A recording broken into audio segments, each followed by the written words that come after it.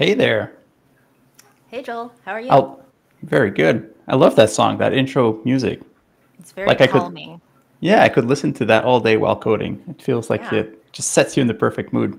Yeah. Oh, hello, everyone. Welcome to the live stream. We have some folks peeking in from LinkedIn. We have Twitch, and I think we're also live on YouTube. So, welcome to the live stream.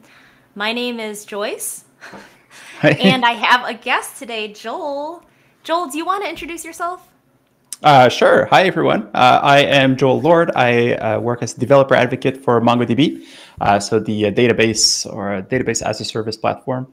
Uh, so we'll, we'll talk a little bit about that later today, I guess. So, Yeah, and I'm Joyce. I'm from the Postman side, um, and I am in developer relations over in San Francisco.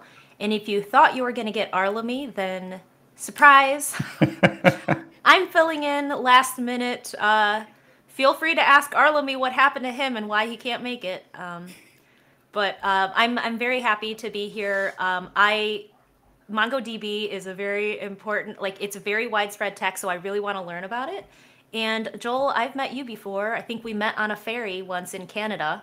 Um, so Exactly. like it's it's like being reunited to hack on something together. So this is going to be enjoyable. Welcome everyone. Absolutely. And where's everybody from? Let's uh, send a question. I guess there's a small delay, so we'll see your answers coming in or trickling in in, in a couple of seconds. But Arlemi is chiming in from Twitch. We have Sean chiming in from YouTube. Um, I invited Arlemi to stick around, but he didn't want to be mocked. So, yes, uh, MongoDB is awesome. I am looking forward to learning how awesome it is. Um, but also, the other thing is like Arlemi prepared for this stream. I don't exactly know what's going on. so, um, but we are going to be working with Postman and MongoDB. We'll dive into that in just one minute. The first thing we start with, though, is in case you missed it. So I'm going to cover some uh, of the latest releases in Postman. I'm going to go ahead and share my screen. And I am going to leave the chat up. Normally I take it down so we can really zoom in and see what's going on, but I don't think we're going to need it entirely. There's only one new thing that Arlemi tells me I should let everyone know about. So I'm logged into Postman right now. I'm going to find a public workspace. So I'm going to search for MongoDB, and the first one is by your team there, Joel. yes, So I'm going to click through to this public workspace and I'm going to drop a link. I'm going to go to the workspace. I'm going to drop a link to the workspace here. And if anybody wants to join me there, you'll see what is new. Let me zoom in just a little bit more. Whoa, it's too zoomed in. I'm in. that what is new is presence. Do you know what presence is? that's so cool. I, I I think I I see my presence. Um, not not there. It is. Yeah. So anybody that wants to hop into this uh, workspace, I'll be able to see you, and I'll be able to see you creeping on me. So I'm actually oh oh somebody's shy, somebody left. uh, I'm actually zoomed in really hard. Let me zoom out just a scotch. But yeah, if you want to join me here, you can see who's active. Endzone is here. So it's kind of like um, if you work with Google Docs in seeing the little presence icon. seeing like who is present in this workspace. So it's kind of exciting. I think it's a really cool application for um, live streams because then if we're hacking on something all together, then we get to, oh, there's Sean. Oops, Sean's shy. Sean deked out. I'm trying to see if I can live update my profile picture so that, to change it. Ah, okay. We have people chiming in from India, Argentina, Pakistan, DRC. What's that? What's DRC? Oh, and then if there's more, okay, now people are coming in. Now they're getting it. Oh, that's because the link was so far back. So yeah, come hang out in the MongoDB workspace. Um, so I think I'm going to be working a little bit in um, the MongoDB realm, and then you're going to be working a little bit in the Postman realm just to keep things interesting. Mm-hmm. So throughout the stream, on the Postman um, portions of the stream, if you're popping into this public workspace, we will be able to see you in a non creepy way. Very not creepy. That's borderline scary. Yeah, yeah. Okay, so I'll stop sharing my screen. That was one very minor thing for in case you missed it presence in public workspaces. I think it's kind of nifty and fun. Um, but on to the meat, on to the meat of the stream. Joel, can I ask you to tell us what we're doing today? So, because uh, you haven't done your homework, right? I haven't done any homework. All right. Uh, so, so the goal. Uh, so recently, we've just released uh, what is called the Data API. So basically, it's a way to access um, MongoDB's data directly from a REST API. Um, so uh, you know, MongoDB's data is relatively access or easy to to access. There's a lot of developer tools that are makes your life very easy. Uh, there's drivers for most of the main languages, but uh, but we've added this feature, which is great for testing what's inside of your data. To uh, if if you need to use um, your data inside curl, for example, or inside a Bash script, uh, maybe you don't have you know there's no driver for that. So using a REST-like API makes your life a lot easier. Uh, so really, what's what we're going to look at today is that.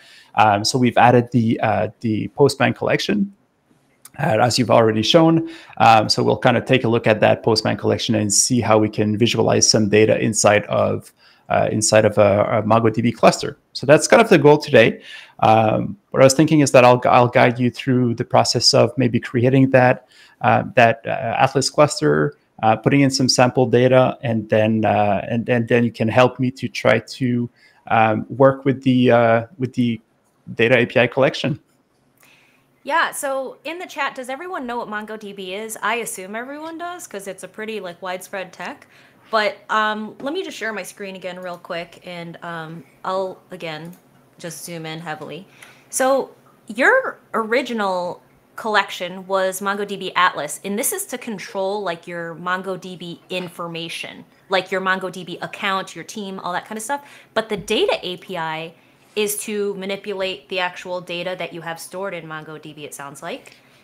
Exactly, exactly. So MongoDB Atlas is uh, the cloud offering by MongoDB. So a lot of people are probably uh, already familiar with MongoDB. If not, it's a NoSQL database uh, that where you know it's it's a database.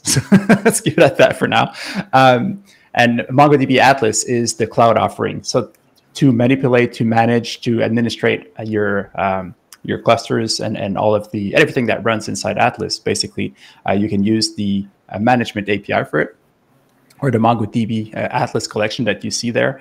And for software developers to to manage everything that has to do with the actual data inside of the cluster, then you would use the data API.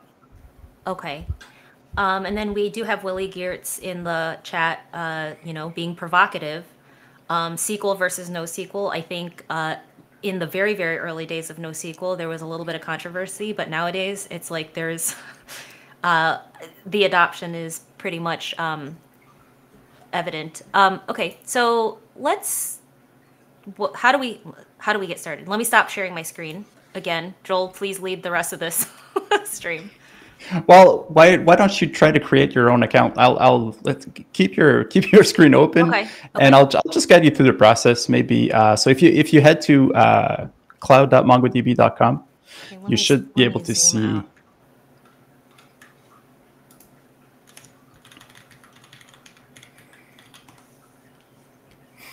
And There is that too should- small? Should I move the chat off the screen? It's.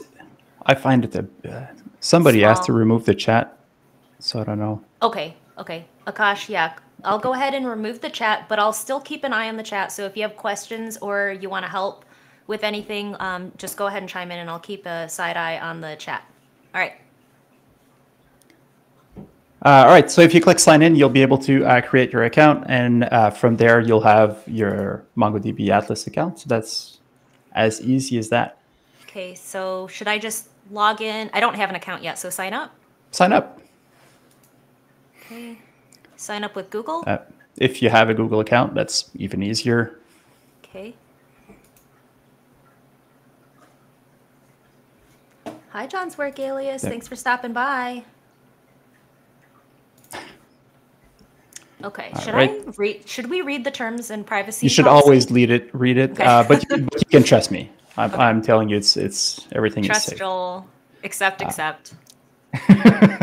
Okay. So All right. welcome. and and then that's it. You've you've got your account, um, Okay. so you should be redirected. Welcome to Atlas. What are your goals? Uh, I guess you can just skip all of that, um, and we'll just. Uh, well, I can't see I- the, bar- the bottom Oh. right corner, so I don't know if you have a, next button or a Uh, skip or. But It's a finish, but I think it's prompting me Okay. to actually do something. So, what type of application? uh, hmm, not blockchain. Uh, let's say uh, other. Okay. I. I. Okay. What is your preferred language? French. Okay. That's Let's look for French, French Canadian. Okay. All right. So I'm going to hit finish behind our heads right here. Actually, no, it's not letting me. It must prompt other. I'll see demo. Okay. Now I'm clicking finish behind my head. All right, so now you can create your first uh, cloud database. Uh, so if you and, and there's a free tier that is available, so you can click on the free at your right, Okay. click on create, and now you can decide where you want to host your database. You can host it on one or many different cloud providers at once, which is kind of cool. Um, so let's just keep the defaults for now. Uh, so it'll be deployed on AWS, uh, North Virginia. I'm not sure why you don't have Oregon as a default, but doesn't matter. Should I change it? Uh, no. Well, it doesn't matter. Again. Okay. So uh, that's the nice thing about it. You can deploy it everywhere and it just runs exactly the same. Uh, really, to the end user, it doesn't change anything. Should I do? You can. Okay, I'll just leave it on. I feel like the website knows best. Let's leave it. Okay. Uh, and then just click next because you can keep the default. You can, we'll keep the free tier for now. Um, and So we'll, I'll go we'll ahead keep the name cluster zero. Create So- cluster zero, um, and it's the free. Okay. Ten dollars. How far will that get me in cloud? Uh, well, if you if you have a like a good decent tier, uh, paid tier database, it'll cost you about thirty dollars per month. Uh, so it's you know uh, it's not that far, but it's still not not too bad. Okay. Um, but if somebody really wants some credit, just you know Uh, hit me up on Twitter afterwards. I can probably arrange something. Okay. At a later just- date, we will. Yeah. Tweet Joel Lord, Joel underscore underscore Lord, and um, you'll maybe you'll get some credits. So in the go. future, we need to rename our cluster, Bob. Uh, I think it's too late once we've too late, created it. too late, okay. Yeah, but that's a All right, great so idea. I'm not going to invite anybody. Okay, skip. Okay. Skip. All right. So next thing you'll need to do, uh, one of the thing, uh, so it's it's being deployed at the moment. So one of the thing that uh, an earlier version, so if you've used MongoDB like version three uh, and and older, uh, it there was some security issues at some point. Uh, so they've changed it a lot, and now it's like fully everything is blocked by default. So you need to actually create a user to give access to. Uh, to anything uh, inside of your database. So let's let's just go and create a user. You could use certificates as well, and there's a lot of uh, different advanced security features, but we'll keep it very simple for now. Okay. Uh, so just give it a username. Uh, let's call it Postman. And we'll put Bob here. How about this? there you go. Okay. and password. Um, you know, you can try password one two three, but I think it'll block that one. So, or you could use your password manager to create something more secure. Will I need to remember this password for later? Uh, yes, you do. So, so use maybe Postman. okay. Create user. Yes. And we've got a user, so we can now access the database. And the next thing, another security feature, as you scroll down, you'll see that nobody's allowed to access the cluster at the moment. So you need to specify which IP addresses are actually allowed to uh, access this cluster. So you could click the add my current IP address um, will to add reveal it. Your it will reveal it. So don't. Um, or you could uh, enter the it's... IP address 0.0.0.0 um, and that will access it from anywhere in the world. So Ooh. it's not the best secure way to do it. It will actually send you an email saying, "Hey, you know, maybe you want to you know, revisit that decision," uh, but uh, but but it, it's kind of useful when you want to explore some things and, and kind of poke around with the API. So. So you're allow so, you're explicitly allowing access traffic coming from these IPs, and in this case, it's going to be everything. Exactly. Okay and uh, click oops. on add entry. Add entry. And you should be good to go. All right. Finish and close. Access Congratulations. Rules. Okay. Go to your database. And I think it's the perfect timing. I think, uh, not quite yet. Um, so as you can Did see I right now, Did I do that so slowly that like it took the three to five minutes. that well, was really quick though. But it's it's not fully finished apparently. Uh, there's still that blue banner at the top that goes in. So what's going on right now behind the scene is that it's actually uh, deploying three different virtual machines deploying MongoDB on each one of those machines, configuring everything. Um, and it's three machines. It's a it's a full Atlas cluster. So that means that you'll have data that will be replicated across all three clusters. So if one of them goes down for some reason, the other two can actually, or one of the other two can pick it up until uh, the third one just comes back online. So all of that is taken care for you. You don't have to really deal with any of that, uh, but yeah. it's nice to know that that's what's going on at the moment. So we do have some uh, mischief being made in the chat. So yes, end zone. Feel free to add your random keys once we see what the um where where the access point is, and then Rex one it will allow all of us yes because we what we we didn't dedicate certain IPs to have, allow traffic. Okay. Yeah, exactly, and that will that's you know something that you would do on a stream because we'll delete that cluster at the end, but probably not something you want to do in production. So yes. something to okay. keep in mind. Okay. Um, okay, so the cluster is ready. So you've got a full cluster. Now, if you go to the three dots next to the cluster, um, right at the top, cluster zero, connect, da da da, three dots. One thing you can do is load sample data. Okay. And that will create, uh, as it says, it'll just create a sample data set. So it'll add a bunch of different data. Uh, it's it's data sets that you can use to explore. So why don't you click on load sample data set right now because it does take a few minutes. yeah. So, uh, but it, will add a bunch of different things. There's a, like a movie collection where there's just a list of movie. There's uh, collections that use uh, geo GeoJSON data, so you can you know explore. Uh, I think it's shipwrecks uh, around the world, so you can plot those on a map. There's there's a lot of different sample data that you can use to explore MongoDB. Uh, so it gives you kind of, of something to play with. Because if you just open up this database and there's nothing in it, it's like, okay, where where do I get started, right? It's, you kind of need something. So the whole goal of having a database is to have some data to uh, explore. And it's nice that you have fun data sets too. Um, I wonder if it's because I clicked, I wanted to learn MongoDB in the registration process, and it like it should it should give me customized data sets. it should. That would be nice. That would, that would be a nice feature, and I'll definitely submit that to our product team. Yeah. Uh, but it's always nice, uh, fun to play with uh, data sets, anyways. Um, so this will take a few minutes. So what I'll I'll try to do right now uh, is, if you want to share me your email, I'll actually add you to another project that already has that uh, that data set and then we can just jump into it Okay. start I taking a look into it. messaged you my email address. Got it. And we still have people chiming in. Welcome. If you just joined us, we are, well, I just set up a MongoDB account.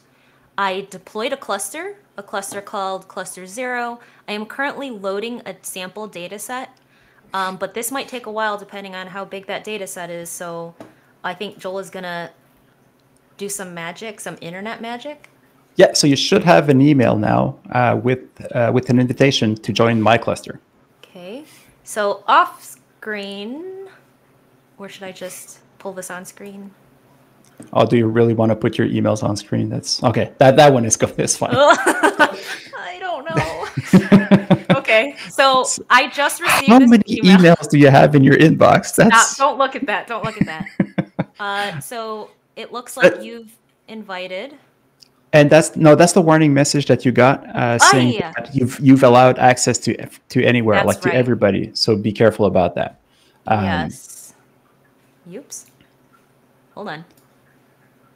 Why? I have this problem where I can't drag across two screens very well. It's a uh, yeah. that's that's what happens when you're not used to work like with windowed, you know, Windowed. with windowed windows. Okay, so now I have the actual email. It's coming over. It's coming There over. it is. Okay. So okay. you have invited me to join a project in Yes. your organization. In my organization. Okay. oh, and Um, we have somebody that's very adamant to know what your headphone scenario is. What's your headphone model, Joel? Sony. And I am not a head headphone nerd. Uh, it's a Sony XM3, I think. Some, something something three. So I click through that Yeah. email without having read it because I trust you, Joel. And Perfect. I auth with my same account that I used to create my account. So this should be the same account, correct? I didn't set up a separate account. That is correct. Oh, that's nice. So I can belong to multiple orgs?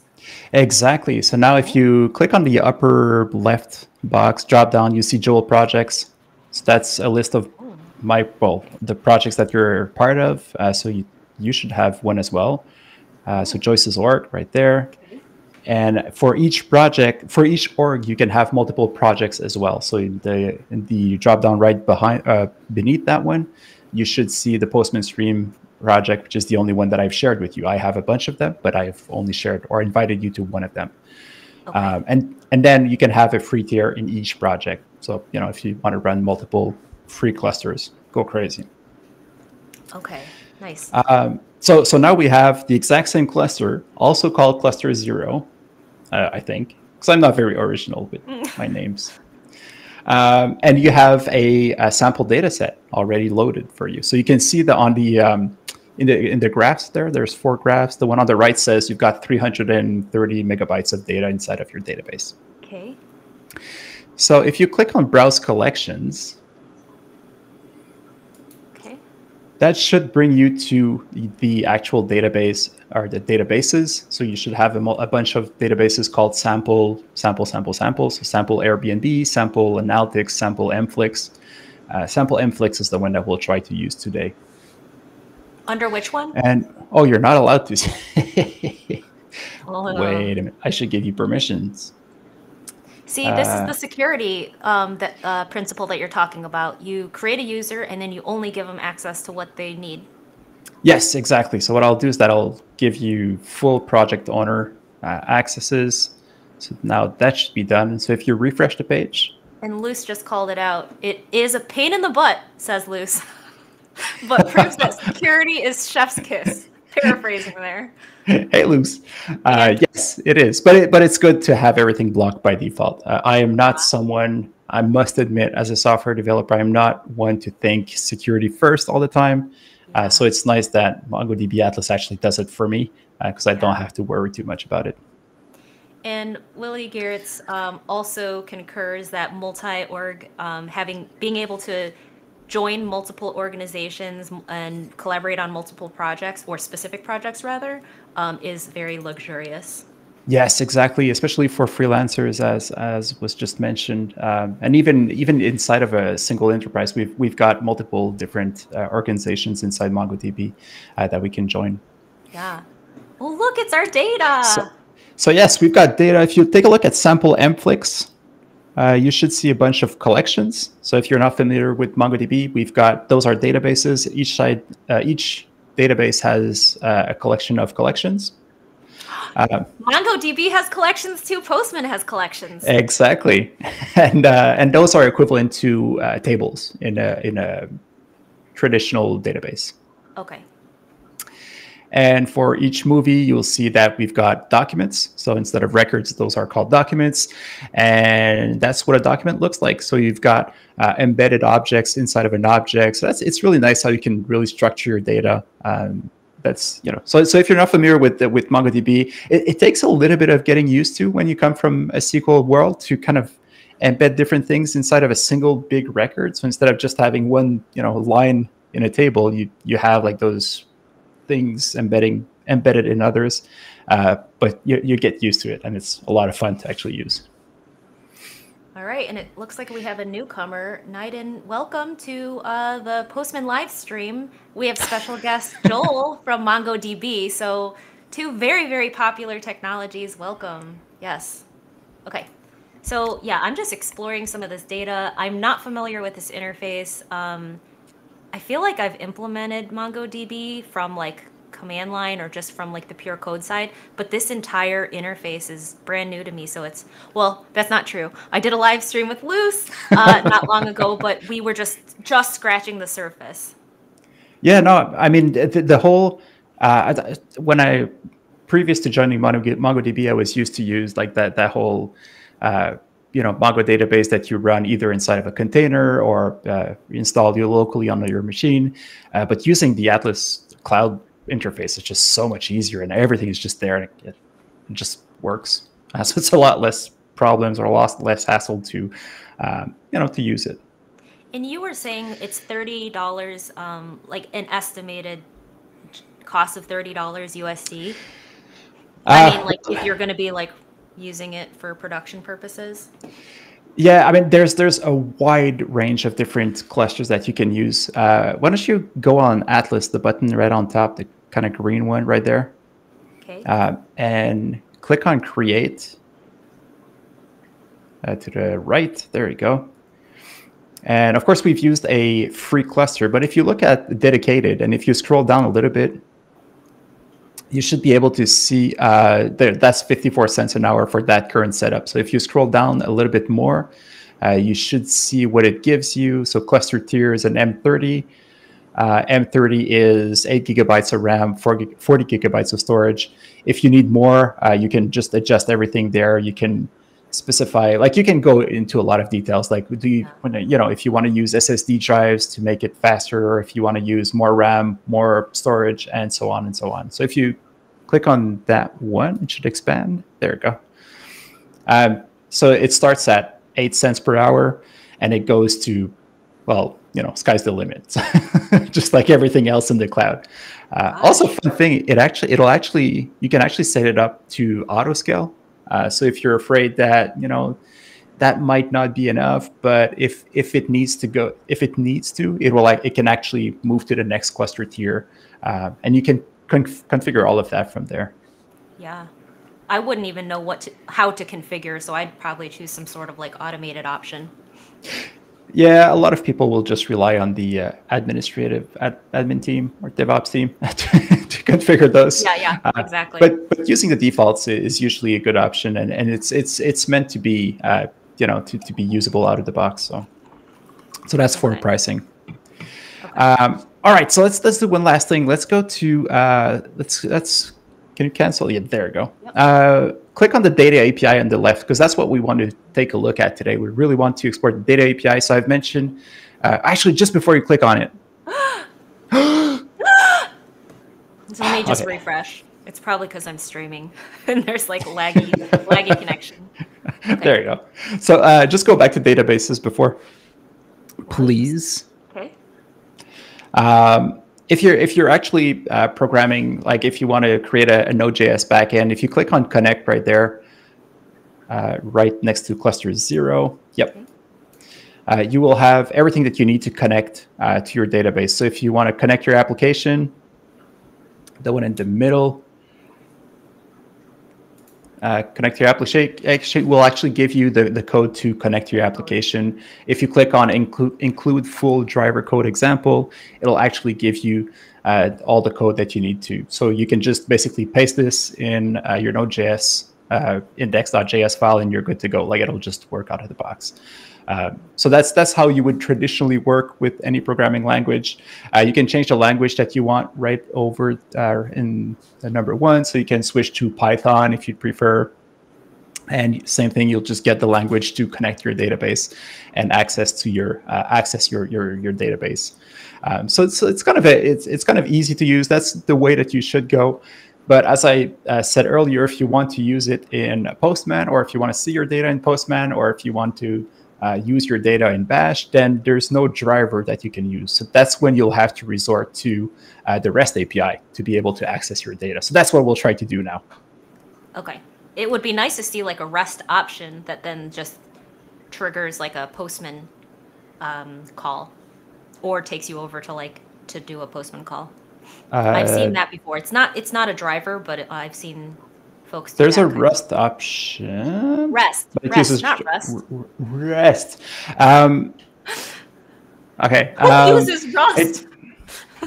Actually, there's a lot of people. I know, I know. Don't don't come at me. Okay, let me close this. So this yeah. is really cool. Like code okay. generation is is clutch for a lot of devs. Okay. Mm-hmm. Yeah, and it's you know, uh, I mean, I I use MongoDB all the time, but I, I, I never remember the syntax to connect to a database, so, so I just I just always copy it from there. Yeah. Um, and it's actually uh, it's it's when you start typing it in, um, uh, GitHub Copilot, VS Code Copilot, whatever whatever it is, like it'll just fill everything for you, anyways. oh, that's nice. Yeah. Yeah. One of the questions that um, I get quite a bit is how do you connect to a database from Postman? And okay. of course, it's just going to be like a REST call, but are, are we going to be doing that? That's exactly what we're going to do next. Okay. Okay. So uh, let's let's uh, click on the data API to the left. Okay.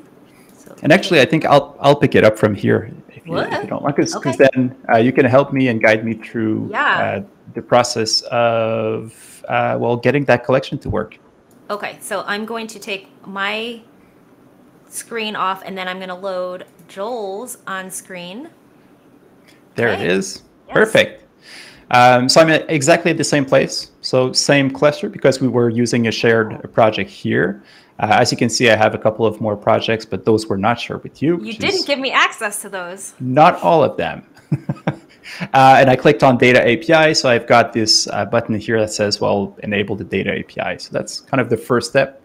Uh, and I'll say I want to enable it for cluster zero. I'll enable it. And that will create all the endpoints and everything that I need. Um, and now I, in theory, should be able to use uh, access all of my data directly from Postman. Okay. Um, so let's let's. Screen seems a little bit clustered. That that looks better. Okay. Um, so yeah, so I guess the next step will be to uh, pull up the public collection and and start playing around with it. Ooh, it's the Postman time. Let's open yeah. Postman. Okay. All right, so I was already in there, but if somebody uh, wants to join us so that we can see their face in here. Um, okay. I'm on my way. I, I, Let's drop I'll, a link. I'll drop a link again. Okay. Come hang out in the um, MongoDB public workspace, and then we'll see your face. How do I find that workspace, uh, Joyce? Is there like an easy way to search for workspaces? Yeah. Top center like the big button that says yes. search Postman for collections. Yeah. MongoDB data API. Endzone, thanks for stopping by. Okay. Uh, by MongoDB DevRel. So that's legit. It, is. it sounds official. It is very official. Ooh, look at all the people joining you in your public workspace.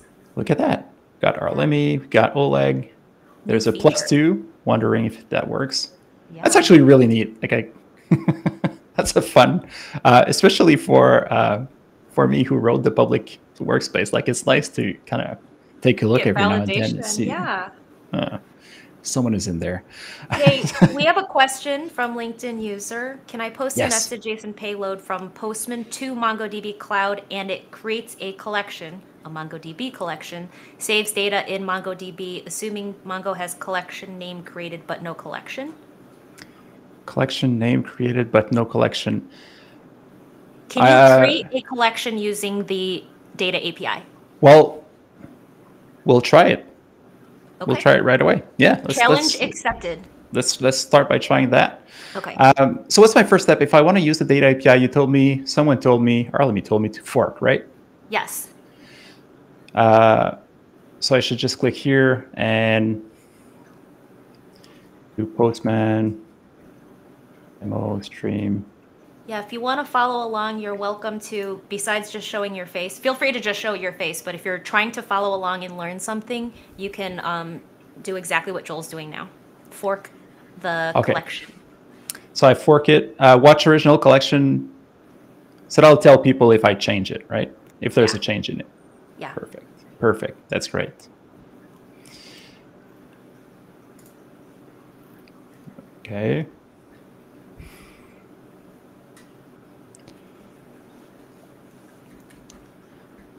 A little bit bigger. All right, so I am now inside of my workspace, which is a little bit messy, I must admit, but uh, but we've got we've got the the collection that we want, so that's all good.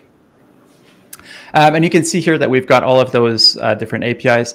Um, now, the first thing I'll want to do is to set up my environment, uh, which is right here, I'm guessing, or is it variables? There's actually an environment um, template in the MongoDB public workspace. So you can create your own environment or you can um, fork. you can fork the environment that they set up. And by okay. they, I don't know if it's you. um, I did, but as you can see, I, am uh, yeah, I forgot how I did it. Uh, I yeah. think I've got an environment, but I, okay, I could, but I could just use the variables as well, right? Okay, sounds good. So let's just use them. Um, so the first thing I'll need is to fill in those fields. And uh, the first one is URL endpoint. So I'll just go directly in the data API right here. And I've got this big URL endpoint. Uh, so I can just copy this and paste it over. What's the difference between initial value and current value? Which one should I use?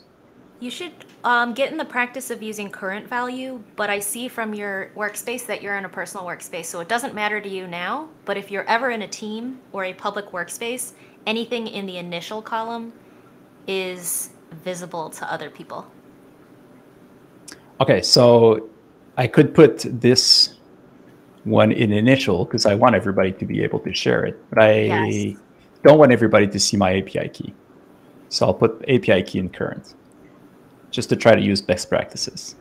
Okay. Yep.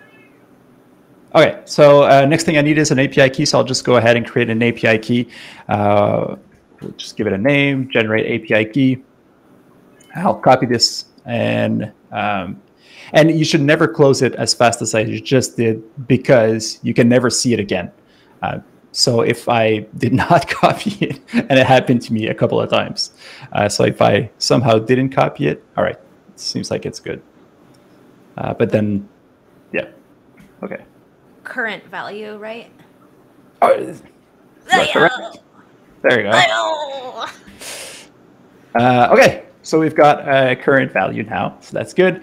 Uh, cluster name, so we'll use cluster zero and database. Um, well, let's let's try to create a new database. Uh, that was the question. I, I can't remember who asked the question, but um, let's try to see if uh, I can create a new database. Uh, we'll call it Postman and collection.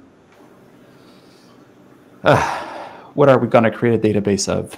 Um, friends. Friends. Foods, foods, foods. Foods, foods is better. way better than friends. Foods is way better than friends. okay. uh, and, uh, okay, cool. Now what? Uh, do I need to save those? Yes, You do need to save, and you're so zoomed in that you're going to have to save through the. You can either like Command S, Control S, or you can use the Oh. three dots. Command S. Did, did that Yeah. do anything? All right. Yeah. Yeah. I guess it's safe. Yeah. Yeah. Okay. That's cool. I love I love UIs that let you press on command uh, command S. Like it's it's so intuitive and and you don't need to think about it. It just There's a lot of shortcuts that I never use Yeah. because I I live stream, so I'm trying to show people where it is. uh, okay, so we've got everything should be set up, so we can try to set up a our first document. Um, so what it will do is, in as part of the body, uh, it's already pre-filled. Um, so we've got cluster name, database, and collection. Those will be automatically adjusted, right? Same for URL endpoint. Can you really quickly recap the difference between database, collection, and document and record?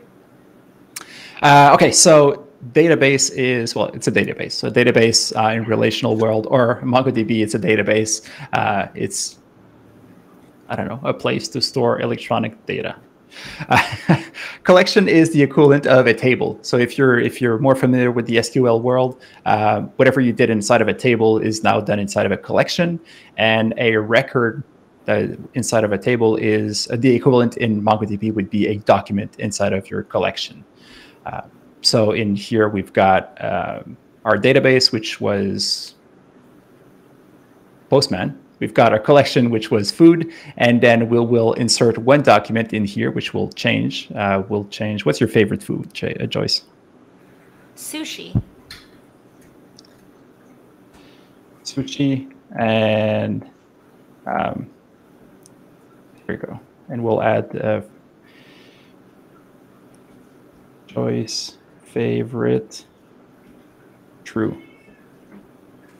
Um, so you can just basically add any fields. You can add um, any type of data, so strings, uh, booleans, and so on and so on, just as you could expect for any uh, database here.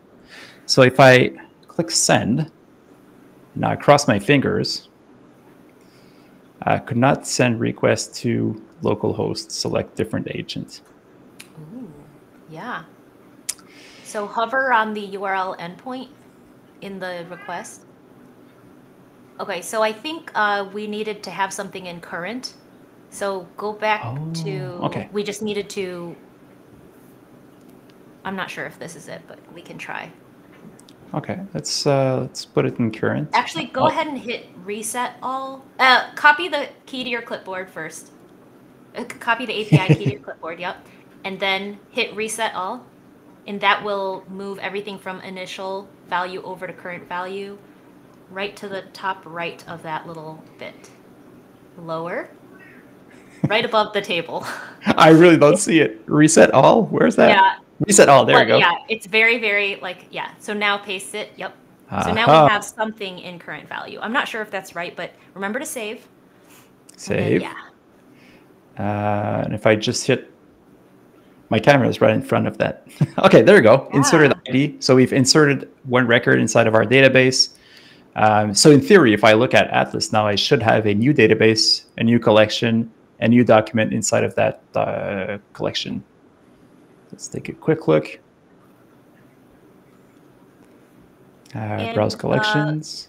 Majid, we are actually, you can use an environment for variables, but in this example, we're using collection level variables. So that's what we're editing, uh, editing there instead of an environment. But environments are also good to use. Yeah, I believe I might have. I don't know. No, there's there's probably no environment uh, by default, uh, or that you can fork from the data API because obviously we don't want to put in. There is. Yep. There is with just the keys, no values. okay, there you go. So Yeah, so yeah. only the, the variable names. And we do have like uh, thank you thank you for trying to clarify this. So the database is the schema. Database is a database is a database in MongoDB and otherwise.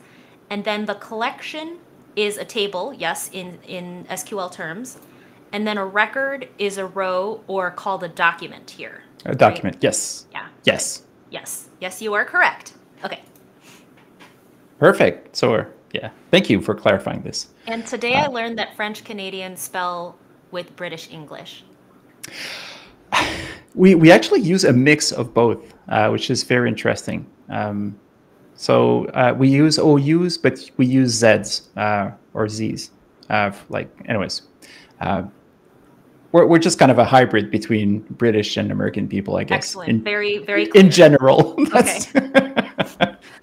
so, uh, so yeah, so so we've been able to create our first record. We're we're actually um, I wonder what is brilliant.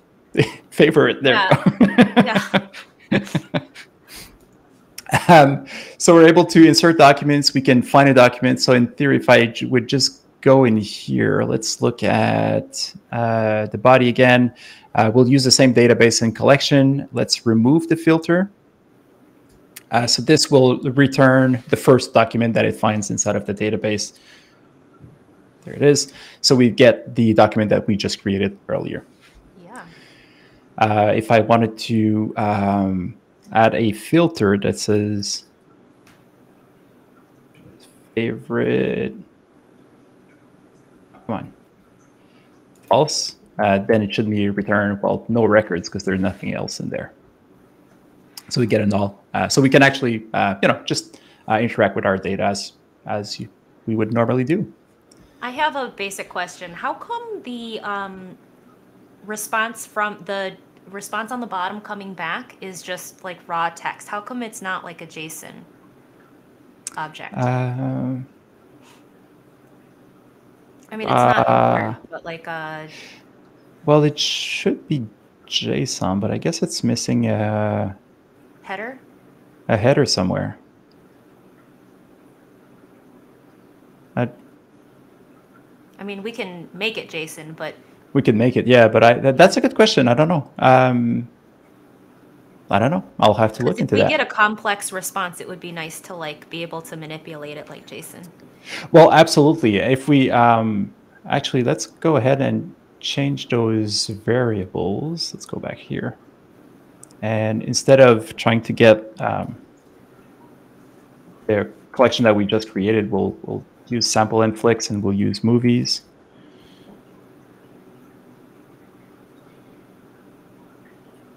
And I'll remove the filter here. And that should return me a much more complex object. Um, so yes, it is Mm. definitely not great to be able to look at it like this. So, but we could convert it. Thank you, Postman. So I, we can. I wasn't sure switch if it that over to- was. I wasn't sure if that was like a NoSQL kind of thing. Like it, it's just comes back not in an object uh, data type. Uh, it sounds to me like it should. Uh, I, I will definitely uh, ask around and see if there's an actual reason. Because sometimes Yeah. there is some reason because there are people much smarter than I am that work there.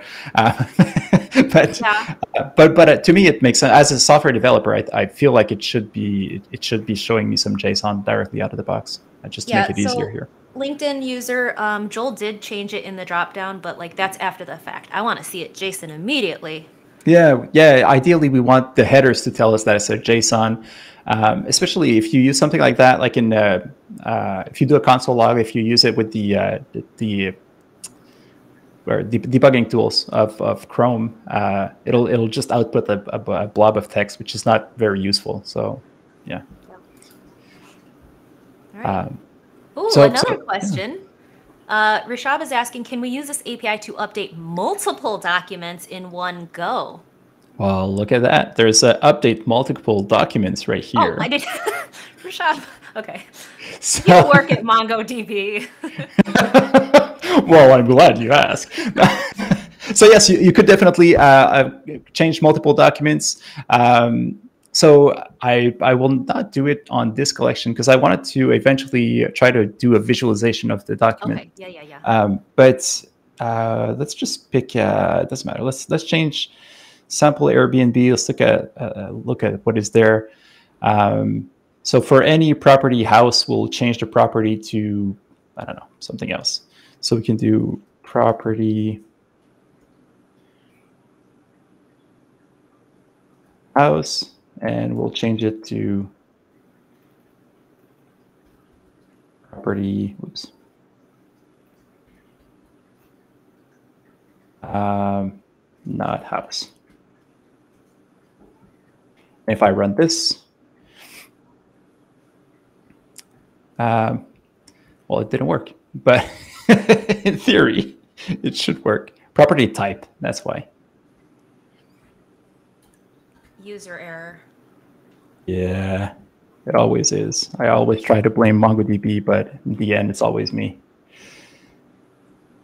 Still an error.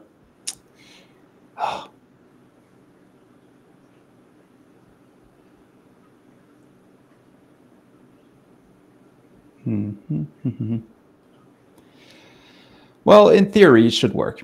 Uh, oh, that's that's because oh, I know why. I know why. That's because I'm using the. Um, I know, I know, I know. What, what, what is it? so, so sample Mflix, uh, and I'm actually trying to update something in uh, in another database. So sample Airbnb, Ah, yeah. and let's let's do it because who cares about that sample data set? Sample Airbnb, and it was listings and reviews. Command S, and and and where is it? Update many, send. Well, I found one, so it updated one document. I was expecting a little bit more, um, but I found one. And if we just go back here, we should be able to uh, refresh and see the change to property. Well, yeah. so in exciting. theory. Yeah. Do you need a refresh? Uh, no, just hitting apply should actually refresh the data that is displayed. I don't know. I don't know what happened Okay, there. okay. Property type, but Well, we do have a good Okay. question from this uh, ringer who I suspect probably works at MongoDB. Um, uh, what's the difference between using the data API versus running simple queries? And I'm guessing you mean like, uh, what what's the benefit of using an API? Well, really, you could you, you could use the, the the the regular drivers, and and and as I've mentioned at the beginning, that's really the way that um, is is the way that you should access MongoDB. Usually, is through the the native drivers. Uh, it'll it'll you know have all the latest features. It'll support everything out of the box, um, and it, it'll make your everything just work better uh, in general. However, sometimes you cannot use those drivers. So that is when you would really rely on the data API. So it's really for those use cases where you, you just can't, or if you want to um, do something like explore the data inside of Postman, for example, if you just want to have a tool open uh, and be able to, you know, uh, explore some of the data that is in there, it's it's nice to use uh, Postman to to do that, or to uh, you know share your share your databases and your collections to your teammates, for example. Uh, then it's nice to have access to that data API to be able to access that data. So it's it's for all those cases where uh, it normally wouldn't work with one of those application drivers. And I would say that this is a very common question um, that you just get in general for APIs. And I think exploring, as Joel mentioned, is fantastic. Like explore it with an API. Any kind of automation. So a lot of times testers will write out flows um, with the API to run a scenario instead of trying to code it. And then just quick and dirty prototyping, I think, is um, very common. Yes. Uh, also different. Uh, I've seen use cases for migrating data uh, between an Oracle database and a Mongo database, so you can actually use the endpoints to communicate between the two of them. Um, visualization, if you've got external tools. Um, it, last weekend, I was just poking around. I, I needed to brush up my Bash skills, um, and I wrote a, a, a Wordle Wordle clone. Um, and it, it uses the data API in the, in, behind the scenes because uh, because I can't access the, the Mongo da- database without having that API. Uh, so that's that's how I managed to do it. You wrote a bash script to recreate Wordle? Well, yeah, because I can. That's Yeah. overachieving. All right, I'm, I'm, Now we're I'm, playing Wordle. Excellent. I'm, I'm totally gonna brag on that one. Here, zoom in like excessively. I'll I'll warn. Okay. Yeah, yeah. Oh, yeah, you're you're a full screen fan. There you go. Okay, we'll we'll clear that so that it's on top, and so it's a bash script. Okay, so what's your first guess? I've never played Wordle, but I heard Ah. um uh I've seen like the optimal word steak steak. Oh, Uh, really? like the, the this kind word? of thing, not like this kind of thing. No, no, no. The uh, a uh, I uh, AKE. Oh, okay. Okay, more now. I don't. Oh, know wait, why is there a I don't know the rules. I don't know the rules. Okay, so, uh, really, I uh, now it's giving me a bug. So okay, let's not try to debug that one. Okay. okay. Uh, uh, we do have more questions about uh, the data API. If I can tear you away from Wordle for a second. Well, first of all, we have nonsensical. I don't know what Willie Gears is saying. What's PEBKAC? Uh, I don't know. Uh. Okay, so Pradnya is asking, what is the back end of this API? Do you have a project related to it? It's uh, yeah. Go ahead. Okay, uh, so the uh, the backend of the API. Um, sure there's word. Okay, so basically, um, as part of MongoDB Atlas, there's this whole thing called Realm as well, which is a whole um, a whole extension of, of MongoDB Atlas. It it gives you access to like a million different things. Uh, in here, you'll have access to creating uh, REST APIs, uh, not REST APIs, but um, serverless endpoints. Uh, you'll be able to create authentication for your database, and and that's like a whole topic. I'm not going to dive in too deep into that. Uh, but basically, the data API, what it how it works is that it uses behind the scenes. So there's a Realm project that you don't see uh, that actually has HTTPS endpoints that are accessible for all of those basic functionalities. So it just that's that's what it that's what happens in the uh, in the back end. It just creates all those endpoints uh, using Realm functions, and you can access the data. Hopefully that answered the question. Like it really quickly because I because it's such a big topic. I don't want to dive yeah. into into it too deeply. We have uh, a suggestion from Rex One. Maybe it is easy to use Postman. So easy. uh, question from Ahmad Does this remove the necessity of back end between API and database? So we are it actually using. Go ahead. It, it does not. Uh, definitely does not. Um, so you still have to be careful because that API key will give access to the whole project. Uh, not to the whole project, but to the whole uh, cluster. So you have to be careful uh, about how you use that. Um, I mean, if you have an uh, if you have a database that you don't mind exposing publicly, then yeah, sure, maybe you don't need it. Uh, I would still go with a backend just for a lot of security reasons. Um, but sometimes it's not possible to have that backend. So in those cases, yes, it could remove the need for the the backend. You said no, absolutely not, and then moved on to yes, it could. Excellent. And then, uh, oh, I'm so slow with the messages. Sean is bragging that he got Wordle in two today. Kudos, Sean. Congratulations. And was guessing for Wordle. Uh, now we're playing. now we're playing charades. Okay. Okay. Keep going. Keep going. Oh, and a compliment for your terminal settings. Maybe the theme. Oh, well, thank yeah. you. Yeah. Okay. Um, yeah. Uh, it's actually a hyper uh, hyper JS hyper JS. Yeah. Anyways, it's a JavaScript application. That is.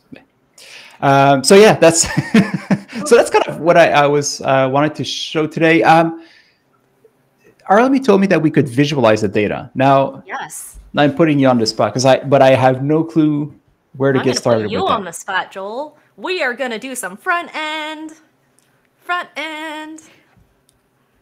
Fun. Let's, I, I, let's do it. What are we gonna do? Make a table? That's so um, exciting. I, I Actually, I'm, I'm very good at tables. Like, um, okay, so if you yeah. feel confident in your front end skills, let's totally make a visualization. I love it. So you clearly have the entire like um, UI in MongoDB in the dashboard. We collapsed, expanded, and collapsed the document. You can dig in there. But as you're exploring the API, if you don't want to switch context, I think there is a case for visualizing data because we don't want to, like, what if what if we couldn't get this to return JSON right away, right? And we had to s- switch the dropdown every time. There is a way to render like JSON data in a table or something like that. Okay. Okay. Oh gosh, there's more. I don't know. I'm trying to like say, should we get started with the visualization? We got time. We got time. Okay. So we have some comments in the chat. Uh, Rashab is saying, sometimes I write scripts to insert specific values to documents. Is there a way to avoid that? Write scripts uh, to insert values. Um, hmm. Maybe tell tell us more about your use case because we just use the um, we just created a document and updated a document. So, like, what is the specific use case? Yeah, so it's it, to me it sounds like an update. Um, so you could definitely use it for that. Um, I'm guessing by script you're meaning like a bash script. um, that would be if that's the case, that would be like a perfect use case for the data API. So you would you would use a uh, bash script with curl, and you could you know update your documents with whatever value that you want to add to it. Um, so I'm guessing if you want to automate something, but I'm not I'm not sure if what's the, the full use case, but And Shivam is asking for streaming data, can this be used to have a better visualization? That would be amazing to to kind of um, have something return and then be able to visualize it real time. Today, I think Joel, you're just going to be working with um, your no, no, no. Calm down. yeah, sure, let's go. All right, let's do it. That's that's you're how you to be break working fingers. with your HTTP API, and so you'll be sending a request and then visualizing the response that comes back back from the server. Okay, let's get started. Chippity chop, chippity chop. Okay, so the way that you're going to visualize data is um, once you get information back from your server, you have access to the tests tab on the top there. So the tests tab on the top is where you can uh, execute JavaScript, like writing tests and asserting what you get back from the um, database. Ugh, or, boring. uh, well, Okay. boring.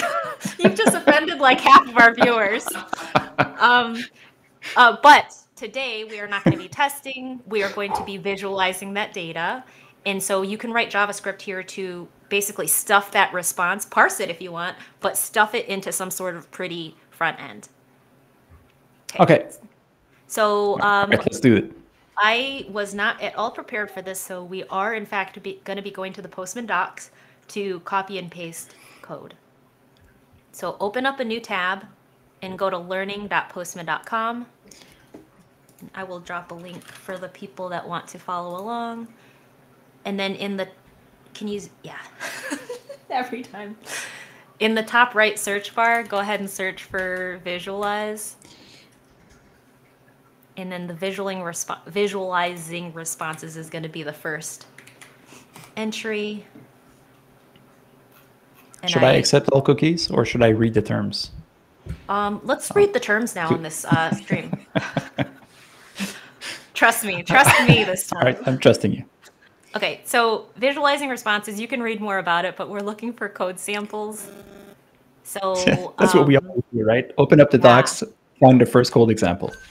Got it. So the first code block is going to be um, an example of your response. So if your response is for your server response is formatted like this, then we could just copy and paste all the live long day. But your JSON object that's returned from the MongoDB database is going to be slightly different. So keep, let's keep that in mind, but let's get some boilerplate in there.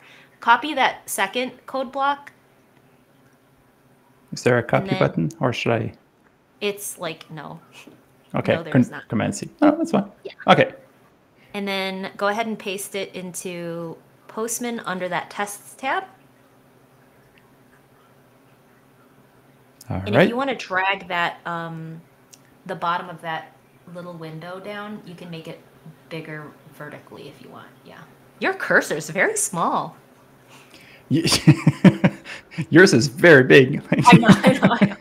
and very Okay. pink, but uh, okay. And one more, go back to the docs and we'll get it, one more code snippet. Uh, that one right below that. That's going to be the JavaScript that uh, initializes the visualizer. So copy that to your clipboard and then paste it after the first one. Oh, Okay.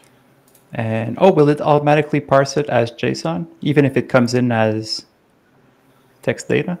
Correct. Yes. So that's what that .json will do. Um, you can also do .text if you want it to treat it as text, but in this case, we let's take a look at it. So between rows 18 and uh, 20, um, that is initializing the visualizer, and the first parameter PM, in pm.visualizer.set is a template. So the template is the codes block that you pasted above. That's a stringified HTML element, and it's a table. And then you're going to use curly braces to stuff in um, properties. Sounds So good. That's very React, React like, JSX like. JSX like. Yeah. Uh, So let's drag that little bar up again so we can see what your response looks like from the um, server to see how the data is formatted so that we know how to reconfigure it and render it in a table. All right. So hmm, I should probably, oh, I'm not at the right place now. Okay, let's just take all of this and I'll go to find multiple documents. And try to send that request. I'm getting nothing. Oh yeah, you're because I have a filter. Yeah. That should return all of the documents in the database, which is probably not the best. Yeah, body length cannot be larger than. Um, let's actually use, okay, I know what I'll do is that I'll actually use an aggregation pipeline. We'll go one step further um, down like so so one of the ways that you can access uh, mongodb's data is um, well of course we can go and, and go in database browse collections and in here you can do whatever pretty much whatever you would expect to be able to do um, so see the documents change them and so on. But there's also there's also somewhere aggregation. And in here you can tweak a little bit your query. This is where you would normally do things like um, group group by what you would do in, in uh, SQL uh, to group objects by something, or you could add different criterias. Or one of the nice things that you can do is just limit the amount of records that it returns. So that's what we'll just limit to 10. Um, and then I can, once again, export the code. So is a aggregation pipeline like a a view of multiple collections, like almost so like a query and then a sub collection? It's it's like a big, massive query. So whenever you want to manipulate data, and you can do all of that inside uh, on the database side. Um, so you, you, could, yeah, you could do different things like sorting, um, limiting the number of records being returned. You could do um, uh, what else can you do? You can manipulate the data, uh, add more fields, transform the fields, like everything that you need to do to your data would be able to do uh, inside of an aggregation pipeline. So it's a full programming language essentially that lets you do pretty much whatever you want to do uh, to your data. So, so again, you I, don't have to do it on client side. So you don't have to do on the client side. So that's the nice thing, uh, really. So you don't need to download all of the records and then manipulate them and you resort them inside of, you know, on the client side. Uh, you can do all of that on the database side uh, benefit from all the indexing that you've set up and so on and so on. Okay. So it's a very powerful feature of MongoDB. Um, again, I could speak for hours about that one alone, yeah. but I just wanted to get uh, this this part right here. Um. And oh, and now I've copied over this. I can just go. Where was it? Tamio was saying you can have one output be input to another query. Exactly. like yeah, like so, transformation kind of thing. So yeah, that's actually I forgot that, but it's like the most powerful feature. Uh, thank you. So basically, it's like a, a, stream of, and there's multiple stages. So you've got your, you know, you've got a first stage that will filter out some data. You, will have another field that will um, just keep some of the fields inside of your document. Another one that would, um, I don't know, add or multiply or you know change your Unix timestamps to uh, date format and another stage and each all of those are streamed one into the other so it's it's a very very powerful tool that you can use um, so i've lost my code so i'll just go back here um, okay and rewrite you don't have it. a clipboard or a clipboard tool I don't. I don't either. I'm not. Stop judging me today. Like no, no, no. the tools and the full screens and uh, but no, I don't. All right. Okay, so we've got oh, everything here. Arlemi's judgy too. That's a lot of un. Oh, actually, this is true. There's a lot of unsaved tabs. So all those orange dots means unsaved changes. Uh, oh, sorry. Giving Arlemi some anxiety. But and, will will um, that mess up like? Yeah. Feel free. You do you, Joel. Don't listen to Arlemi. Uh, I, I have the utmost respect for Arlemi. See.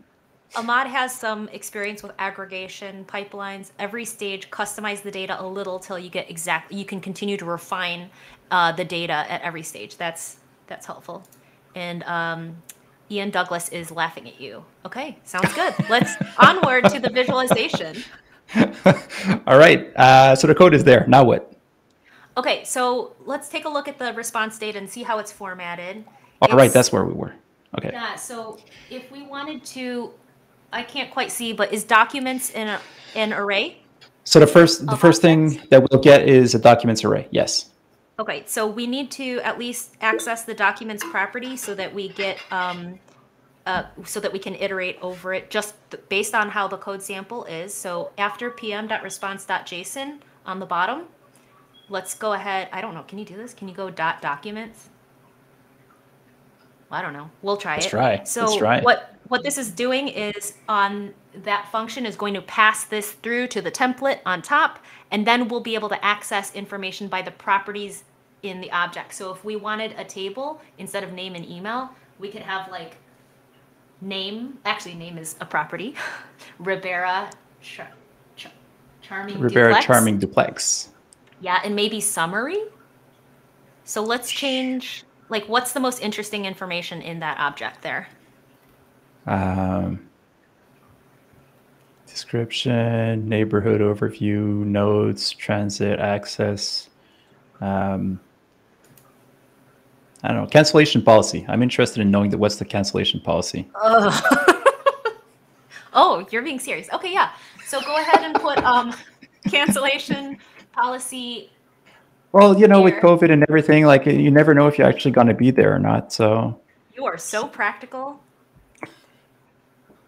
There you and go. you have the precise spelling of that property. So theoretically, we would loop, I don't know if this will work, but we would loop over every object in the array down bottom in the documents property and then have a table of the name of the property and the cancellation policy.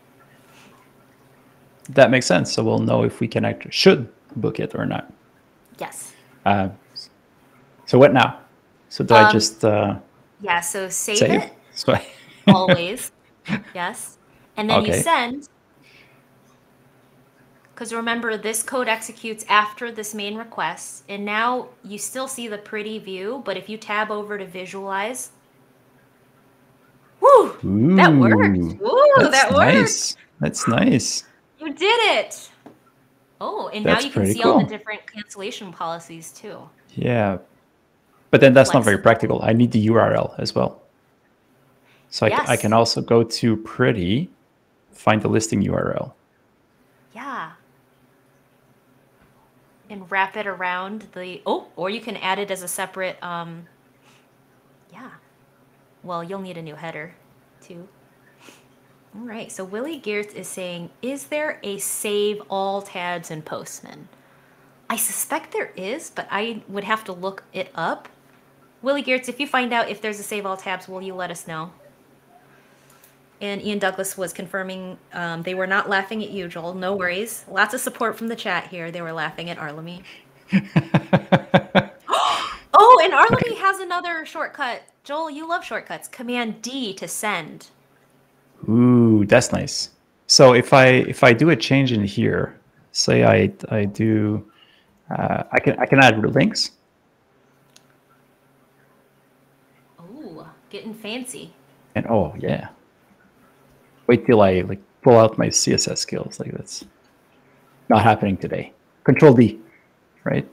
Control S and Oops. then or Command S Oops, and then Command oops, D. oops. No. Command D. Command D removes a line. that's that's mean. Come on, come on. Eleni.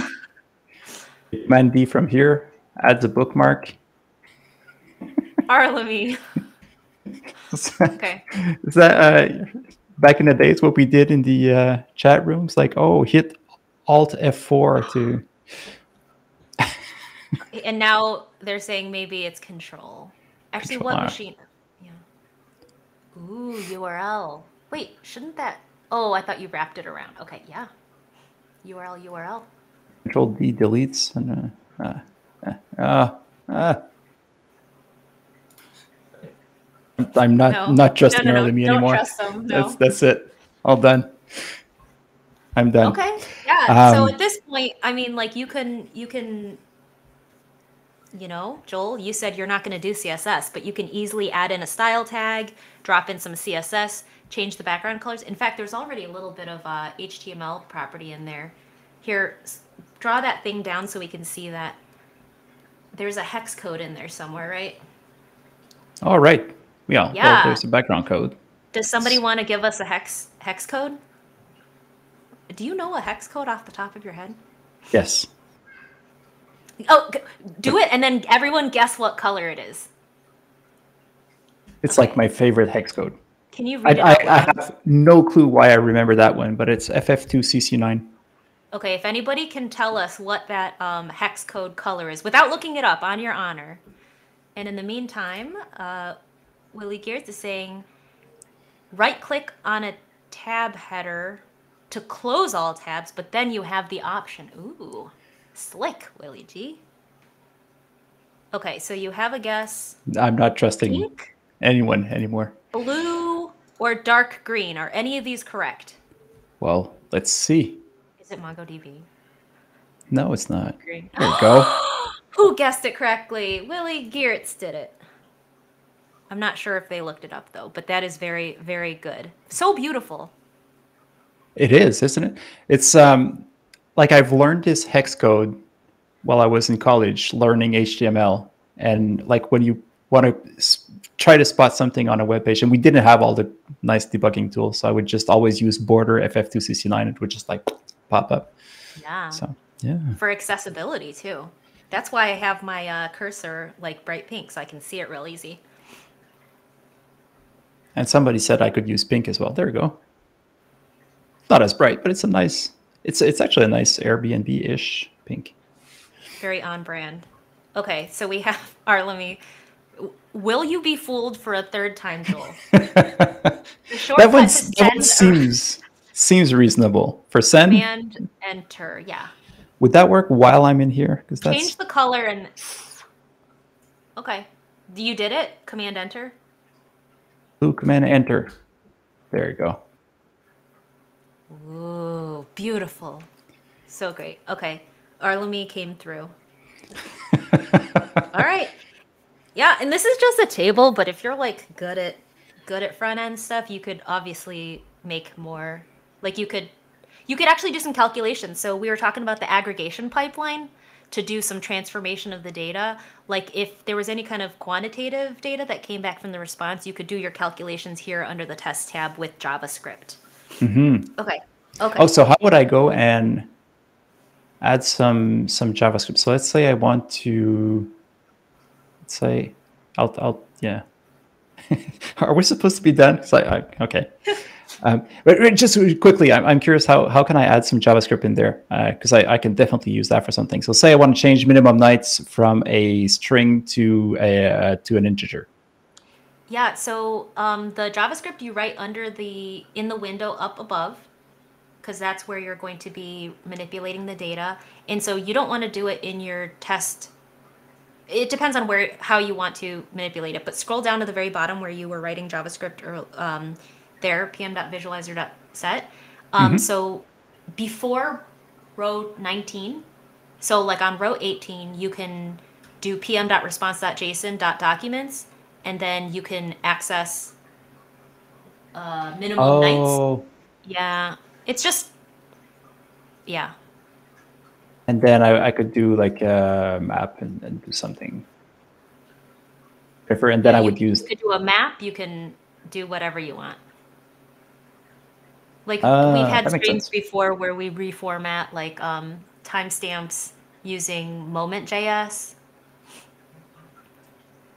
Yeah, exactly. That's that's what I where I was kind of going with that, uh, trying to change that date into like a whatever a timestamp or something. But that Yeah. makes sense. There's a way to use JavaScript in the um, HTML string as well, but I don't know that syntax. Actually, that's in the docs as well, so we could do that. Sounds good. I'll look at the docs. So we have a request. Um, is this a request for hex? Can you use zero? Is that a hex? or maybe it's just ooh. Ooh.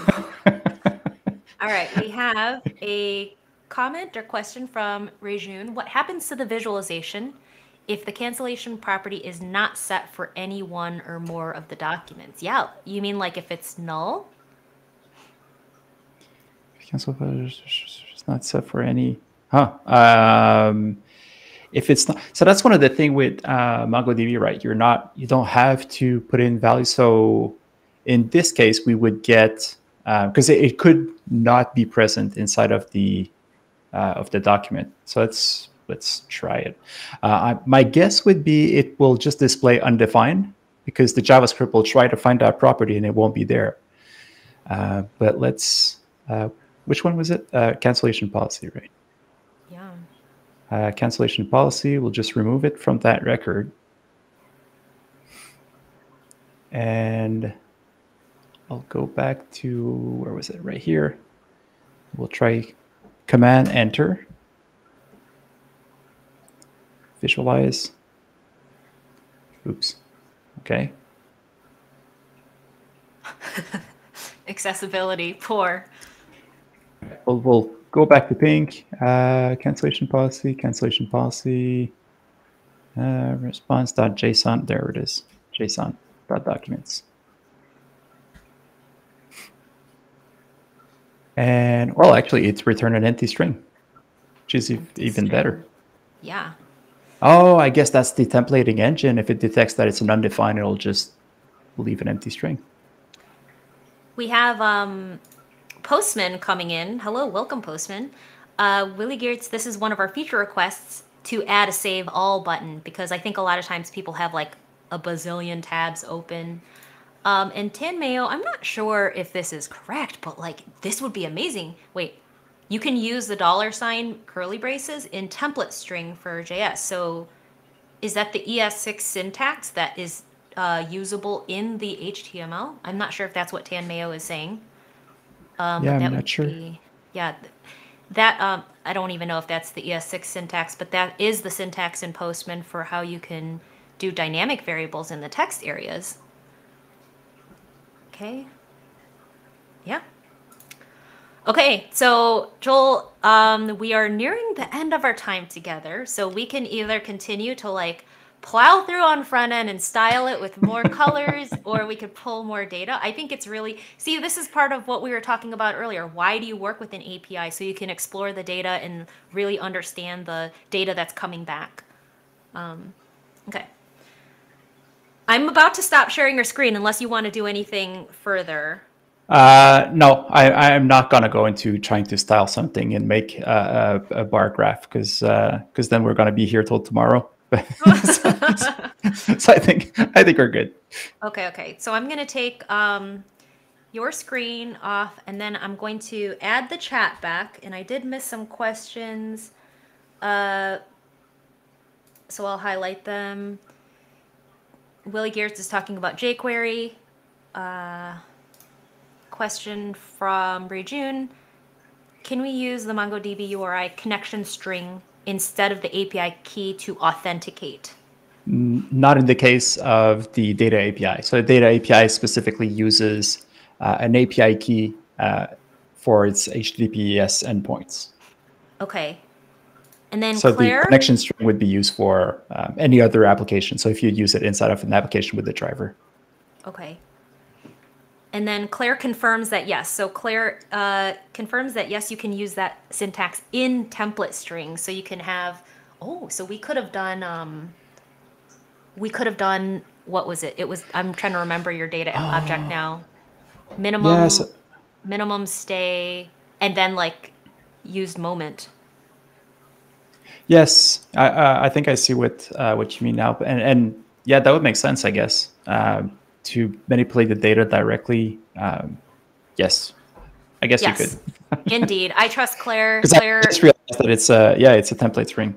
Yeah, it's handlebars actually. So, all right, so that was uh, pretty good, Joel. We we got a lot done. I learned a ton about MongoDB and also just um, databases in general. Um, we do like to close the stream uh, with shout outs. So I'll give you some time to think about whether or not you want to shout something out.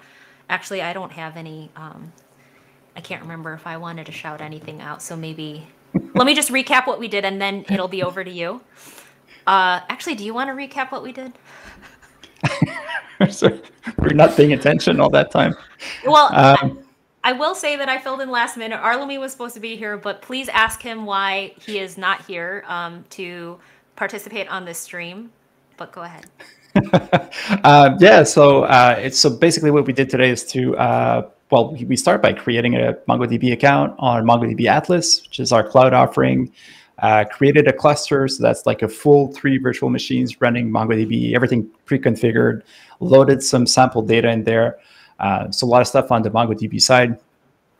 Um, and uh, and then we've enabled the data API, which is the, one of the newest features where we can create endpoints that can then be accessed from well anywhere, uh, anywhere that has internet access, I guess.